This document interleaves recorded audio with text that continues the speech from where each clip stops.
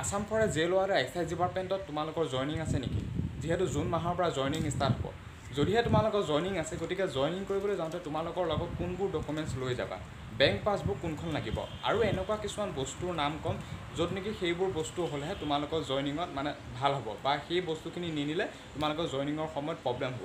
গতিকে বন্ধু বান্ধৱীসকল তোমালোকৰ যদি জুন মাহত জইনিং আছে তেনেহ'লে মোৰ এই ভিডিঅ'টো তোমালোকৰ কাৰণে বহুত বেছি হেল্পফুল হ'ব। তেনেহ'লে ভিডিঅ'টো অকণি দেৰি নকৰি ভিডিঅ'টো আৰম্ভ কৰোঁ। যিহেতু তোমালোকৰ আছাম ফৰেষ্ট জিঅ'লাৰ এক্সাইজ ডিপাৰ্টমেণ্টত জুন মাহৰ পৰা জইনিং আছে আৰু এক জুনত যিহেতু জইনিং কৰিবলৈ যাব লাগিব কিন্তু কোনটো জেগাত যাব লাগিব বা হয়তো তোমালোকৰ নিজৰ ডিষ্ট্ৰিক্টৰ পুলিচ ৰিজাৰ্ভতে মাতে নে নে তোমালোকৰ যোনটো জেগাত তোমালোকৰ ট্ৰেইনিং হ'ব সেইটো জেগাতে মাতে সেইটো ক'ব পৰা নাযাব। কিন্তু যিহেতু তোমালোকৰ জুন মাহত জইনিং আছে গতিকে জইনিং কৰিবলৈ যাওঁতে পোনপ্ৰথমতে তোমালোকৰ লাগিব ডকুমেণ্টছ। অৰিজিনেল তোমালোকৰ সম্পূৰ্ণ ডকুমেণ্টছ লাগিব।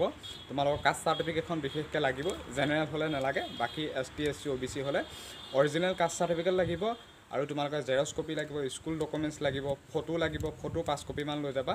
বাকী তোমালোকে এই অৰিজিনেল ডকুমেণ্টছখিনি কথাটো গম পালাই অৰিজিনেল ডকুমেণ্টছ নিয়াৰ লগতে জেৰক্স কপি লৈ যাবা আৰু ঘৰত তোমালোকে জেৰক্স কপি দুকপিমান থৈ যাবা। যিহেতু তোমালোকৰ অৰিজিনেল ডকুমেণ্টছ তোমালোকৰ জইনিং জেগাত একদম ৰাখি দিব আৰু তোমালোকক ঘূৰাই নিদিয়ে। যেতিয়া তোমালোকৰ চাকৰি কমপ্লিট হ'ব মানে বহু বিৰতিৰ পিছত মানে ষাঠি বছৰমানত হওঁতেহে তোমালোকৰ ডকুমেণ্টছবোৰ ঘূৰাই দিব। এতিয়া যিহেতু ডকুমেণ্টছখিনিৰ কথা গম পালা আৰু এতিয়া আহিছোঁ তোমালোকৰ most important bank passbook bank passbook তোমালোকৰ ষ্টেট বেংক হ'লে বেছি ভাল মেইন ব্ৰাঞ্চৰ ষ্টেট বেংকৰ পাছবুক ল'বা। আৰু পাছবুকৰ পিছত তোমালোকে আৰু তোমালোকে পিন্ধিবৰ কাৰণে জোতা মানে জোতাটো ল'ব লাগিব যাওঁতেতো পিন্ধি যাবাই জোতা। আৰু ৰানিং কৰিবৰ কাৰণে চেগা জোতা এযোৰ লৈ যাবা। আৰু বাকী তোমালোকৰ কাঁহী এখন নিবা বাতি নিবা গ্লাছ নিবা আৰু মগ নিবা। মানে যিহেতু একমাহমানৰ কাৰণে তোমালোকৰ প্ৰব্লেম হ'ব। আৰু এক মাহৰ পিছত তোমালোকে নিশ্চয় পাৰিবা। আৰু এক মাহৰ কাৰণে তোমালোকে বস্তুখিনি ভালকৈ লৈ যাবা। আৰু পিন্ধিবৰ কাৰণে হোৱাইট কালাৰ স্পৰ্টিং দুটা লৈ যাবা। আৰু হোৱাইট কালাৰ পাৰিলে পেণ্ট নিবা। সেইখিনি মানে এক মাহৰ কাৰণে তোমালোকৰ বহুত বেছি প্ৰয়োজন হ'ব। হোৱাইট কালাৰ পেণ্ট জোতা তাৰপৰা টুথপেষ্ট কলগেট লৈ যাবা চাবোন লৈ যাবা গা পা ধুবৰ কাৰণে তাৰপৰা দাড়ি কাটিবৰ কাৰণে তোমালোকে প্লেট বা ৰেজৰ যিকোনো লৈ যাবা ল'ৰাসকলক কৈছোঁ। বাকী সেই তেনেকুৱা ধৰণৰ নৰ্মেল কাপোৰ কিছুমান লাগিব বাকী ছোৱালীসকলকো স্পৰ্টিং বা পেনেই লাগিব কাৰণ ছোৱালীসকলক তাত তোমালোকক চাদৰ মেখেলা পিন্ধিবলৈ নিদিয়ে। গতিকে স্পৰ্টিং বা পেণ্ট লাগিব হোৱাইট কালাৰ পাৰিলে লৈ যাবা। আৰু সেইখিনি নিয়াৰ লগে তোমালোকে ৰছী এডাল নিবলৈ একেবাৰে নাপাহৰিবা। ৰছীডাল কিয় কাৰণে কৈছোঁ হয়তো তোমালোকে ভাবিছা যে ৰছীডাল মইনো নি পেলাই তাত কি কৰিম? ৰছীডাল তোমালোকক লাগিব কাপোৰ মেলিবলৈ আৰু তাত তোমালোকৰ ৰছী যোগান নধৰে। তাত তোমালোকৰ বিচনাতে তোমালোকৰ বা ৰছীবিলাক বান্ধিব লাগিব বা অকণমান মুকলি জেগা পালে ৰছীবিলাক বান্ধি তোমালোকৰ কাপোৰখিনি মেলিব পাৰিবৰ কাৰণে সুবিধা হ'ব। গতিকে ৰছী অকণমান লৈ যাবা আৰু বাকী তোমালোকে গম পালা ডকুমেণ্টছ বেংক পাছবুকৰ কথা গম পালাই। আৰু এতিয়া আহিছোঁ তোমালোকৰ হাফ পেণ্টটোৰ কথা ক'লোঁ বা কলগেট এইখিনি যিমানখিনি পাৰোঁ মই তোমালোকক ক'বলৈ চেষ্টা কৰিলোঁ। আৰু একেবাৰে শেষত মষ্ট বেছি ইম্পৰ্টেঞ্চ বেগ এটা। ডাঙৰ বেগ এটা লৈ যাবলৈ একেবাৰেই নাপাহৰিবা। ডাঙৰ বেগ এটা লাগিব। সেই বেগটোতে মানে মই স্ক্ৰীণত দেখুৱাই আছোঁ গম পাইছা? সেই বেগটোতে মানে সকলোখিনি যাতে কাপোৰ বস্তু ধৰি লৈ যায় মানে ধৰে।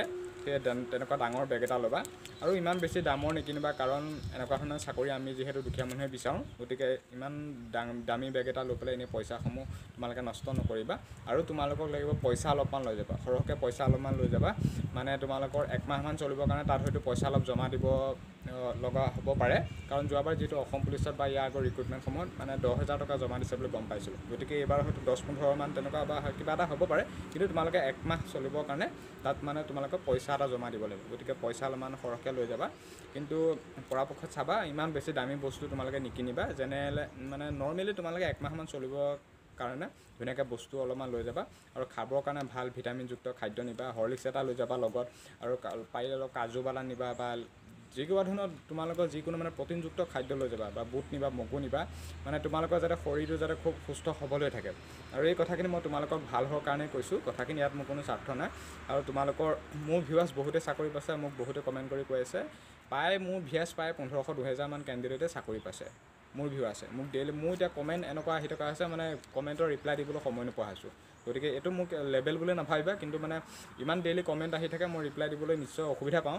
আৰু যি কি নহওক সেইখিনি কেৱল তোমালোকৰ মৰম বুলি ভাবিছোঁ। ইমান কম সময়তে যে মোক ইমানখিনি ছাপোৰ্ট কৰিছে তাৰ বাবে অশেষ বহুত বেছি ধন্যবাদ। এতিয়া তোমালোকে গম পালে জইনিং টাইমত কেনেকুৱা ধৰণৰ কি ক'ত কি বস্তু নিব লাগিব যিমানখিনি পাৰোঁ ক'বলৈ তোমালোকে চেষ্টা কৰিলোঁ। আৰু এক জুনত যিহেতু তোমালোকৰ জইনিং হ'ব সেই সেই এক জুনৰ দিনাখনে তোমালোকক একেবাৰে ৰাখি নথয় এমাহ বা ছবছৰৰ কাৰণে ৰাখি নথয়। হয়তো চাৰি পাঁচদিনমানৰ পিছত তোমালোকৰ একেবাৰে জইনিং তোমালোকৰ যোনটো জেগাত পৰিব ট্ৰেইনিং সেইখিনি ট্ৰেইনিং জেগাত মাতিব। আৰু এপইণ্টমেণ্টত লিখা হৈ থাকিব কোনটো ক'ত জেগাত মাতিব বা নেমাতিব বা যেতিয়া তোমালোকে একজনত জইনিং কৰিবলৈ যাবা যোনখিনি জেগা তাত তোমালোকক নিশ্চয় কৈ দিবই বোলে তোমালোকৰ বা জুন মাহৰ দহ তাৰিখে জইনিং আছে মানে তোমালোকৰ ট্ৰেইনিং জেগাত যাব লাগিব। আৰু এতিয়া আহিছোঁ ট্ৰেইনিংটো তোমালোকৰ কিমান মাহ হ'ব? আগতে গম পোৱা মানে ফৰেষ্ট ডিপাৰ্টমেণ্টৰ ট্ৰেইনিং ছিক্স মান্থছৰ বুলি গম পাইছিলোঁ ফৰেষ্ট গাৰ্ডৰ মানে ফৰেষ্ট গাৰ্ড যিহেতু ফৰেষ্ট এজন অফিচাৰেই হয়।